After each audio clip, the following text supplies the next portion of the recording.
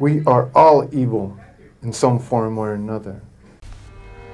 Tất cả chúng ta đều xấu xa dưới hình thức này hoặc hình thức khác. Câu nói của Night Stalker Richard Ramirez đã trả lời cho một buổi phỏng vấn sau khi hắn bị bắt. Thoạt nghe thì thấy có lý, nhưng thực chất câu nói trên là để lôi kéo chúng ta đồng cảm hơn với hắn, lôi chúng ta vào cùng cái thế giới chỉ toàn tội ác, hôi tanh mùi máu của tên sát nhân hàng loạt.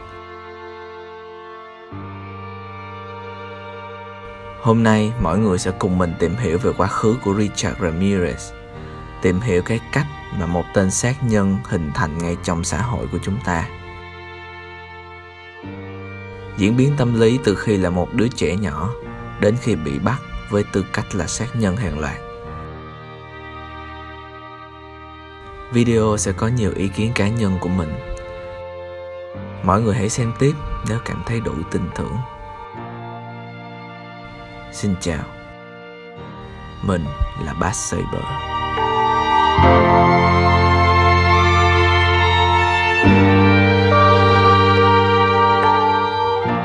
Richard Ramirez sinh ngày 29 tháng 2 năm 1960 Một ngày sinh đặc biệt vào năm nhuận. Đứa bé được sinh ra như một tờ giấy trắng Và bà của nó là người đã viết lên những nét đầu tiên trong tâm hồn. Ba của Richard là một cảnh sát Mexico. Sau ông được chuyển đến El Paso, Texas để sinh sống và làm việc. Nhiều nguồn đáng tin cậy cho biết Richard đã trải qua những năm tháng đầu đời trong bạo lực, bị bạo hành nặng bởi cha của mình. Từ lúc sinh ra đến năm 12 tuổi, Richard đã hơn hai lần bị tai nạn dẫn đến bất tỉnh và có tiền sử bị động kinh. Lúc này sự lương thiện vẫn còn trong tâm hồn hắn một cô gái học chung với hắn vào khoảng 7 tuổi cho biết cô vẫn còn nhớ Richard là một cậu nhóc rất thích đến trường và vẫn luôn cư xử lịch thiệp với cô. Biến cố lớn đầu tiên xảy ra năm 12 tuổi. Sau những trận bạo hành từ người cha suốt những năm đầu đời, lúc này đứa trẻ đã bắt đầu có nhận thức và dần xa lánh gia đình. Richard 12 tuổi đã chọn xa lánh người cha bạo hành mình để qua lại nhiều hơn với một người anh họ. Người thường hay đứng về phe nó Người anh họ ấy lúc này hơn cả một người cha, như một hình mẫu và nhận được sự tôn trọng kính nể nhất của Richard.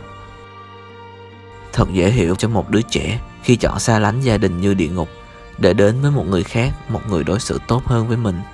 Tuy nhiên, điều tồi tệ đã xảy ra với Richard. Cậu rời bỏ một con quỷ, nhưng lại đến với một con quỷ lớn hơn. Người anh họ ấy là một người lính vừa trải qua trận chiến ở Việt Nam về tinh thần đã chịu ảnh hưởng rất nặng nề bởi cuộc chiến đẫm máu. Tên lính tâm thần đã cho Richard xem những tấm hình của những người phụ nữ Việt Nam bị lính Mỹ cưỡng hiếp. Không dừng lại ở đó, hắn còn cho xem hình ảnh của các cái đầu bị cắt lìa của những người phụ nữ. Chúng ta đều có thể tưởng tượng được những việc trên sẽ ảnh hưởng như thế nào đến một đứa bé mới 12 tuổi và vừa trải qua một tuổi thơ đầy bạo lực.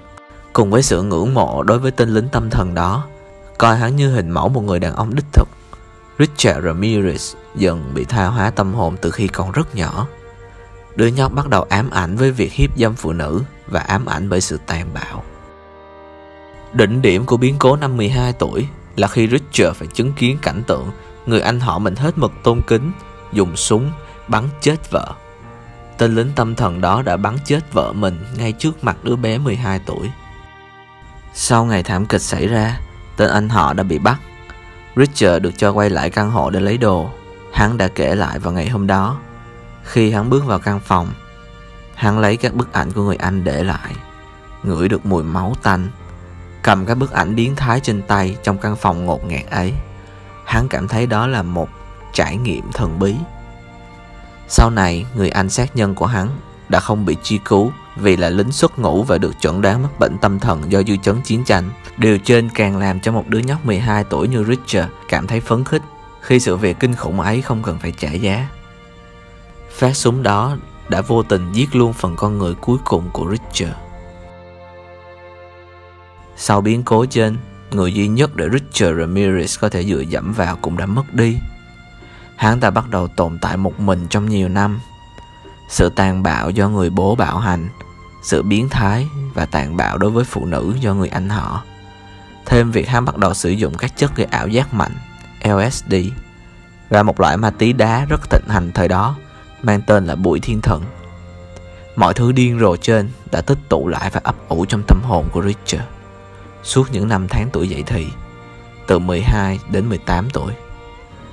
Trong 6 năm đó, hắn đã nuôi dưỡng sự căm phẫn với xã hội loài người, nuôi dưỡng mong muốn giết chóc, mong muốn tình dục biến thái.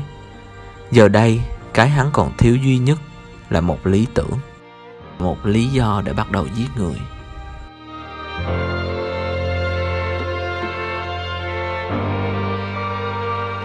Năm 1978, năm Richard 18 tuổi, lúc này con quỷ trong hắn gần như đã hoàn chỉnh. Chỉ cần một cú đẩy nhẹ nữa, hắn sẽ bắt đầu đi gieo rắc sự khiếp sợ cho xã hội. Và sa tăng giáo cực đoan chính là nơi thực hiện cú đẩy đó cho hắn. Khi tròn 18 tuổi, Richard đã tiếp cận với kinh sa tăng giáo cực đoan, một nhánh của đạo sa tăng tôn thờ quỷ dữ, xúi dục các hành vi giết chóc và tình dục lệch lạc, nhân danh quỷ sa tăng. Richard đã bị cuốn hút và tham gia một giáo phái. Hắn đã tới và cùng với giáo phái ấy thực hiện nhiều nghi lễ đen tối. Richard kể lại, trong một buổi thực hành nghi lễ, hắn đã cảm thấy bàn tay chúa quỷ Satan chạm vào mình. Và rồi sự việc trên là giọt nước tràn ly cho hắn một mục đích, một mục tiêu rõ ràng để giết người. Hắn đã ấp ủ ham muốn hành hạ, hiếp dâm và giết người bao năm tháng qua. Chỉ thiếu một lý do để có thể tiến hành. Và Satan giáo cực đoan đã cho hắn tất cả mọi thứ hắn cần. Vài năm sau biến cố này, Richard Ramirez đã đến LA thực hiện chuỗi vụ án mà chúng ta đã cùng nhau chứng kiến ở ba tập trước, ghi tên mình và danh sách những tên sát nhân hàng loạt tồi tệ nhất con người từng chứng kiến.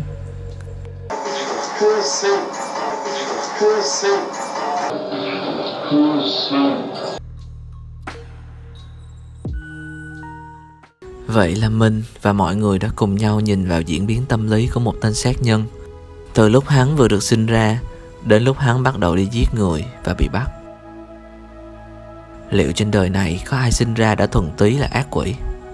Mình tin là rất ít. Mọi em bé sinh ra đều là những tờ giấy trắng tinh khiết nhất và đang chờ để được xã hội viết lên những bài học. Theo quyển sách nghiên cứu về sát nhân hàng loạt, hầu như tất cả các ác nhân giết người hàng loạt đều có một tuổi thơ không yên bình.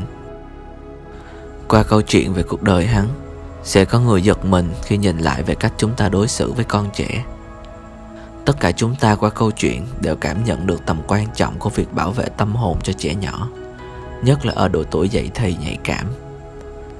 Mình chỉ nghĩ giá như vào những năm tháng đầu đời của Richard có xuất hiện một người thiện lương quan tâm hắn và cho hắn thấy được tình yêu. Có thể mọi chuyện sẽ khác đi rất nhiều. Tuy nhiên, mình xin nhấn mạnh một điều. Mình chưa từng và sẽ không bao giờ cho phép bản thân đồng cảm với tên sát nhân, dù là một chút. Sát nhân thường có tuổi thơ bất hạnh, nhưng vẫn có rất nhiều người có tuổi thơ bất hạnh lại vươn lên đi tìm hạnh phúc, đóng góp rất nhiều cho xã hội tốt đẹp hơn. Xin đừng bao giờ đem sự bất hạnh để làm lý do cho những hành động tồi tệ và cho rằng đó là đúng. Đây cũng là một trong những nỗi sợ thường trực của Bat Saber khi làm video về những tên sát nhân mình sợ video của mình sẽ khiến một ai đó đồng cảm với những tên sát nhân như Richard. Xin đừng. Nếu có chẳng may, bạn phải trải qua những điều tồi tệ, thì chắc chắn bạn là người hiểu hơn ai hết giá trị của hạnh phúc. Bạn sẽ là người biết trân trọng hạnh phúc hơn ai hết. Hãy dũng cảm vươn lên đấu tranh để những điều tồi tệ từng xảy đến với bạn không còn xảy ra nhiều hơn nữa. Hy vọng video của mình có thể tiếp thêm năng lượng tích cực cho bạn cũng như mọi người và không trở thành cái cớ cho những việc làm xấu xa. Nếu muốn mọi người có thể chia sẻ những câu chuyện không vui thời thơ ấu ở dưới bình luận Biết đâu chúng ta có thể giúp nhau chữa lành những vết thương thì sao? Hẹn gặp lại ở phần 5 để cùng nhau chứng kiến kết cục của vụ án. Xin chào, mình là Bass Saber.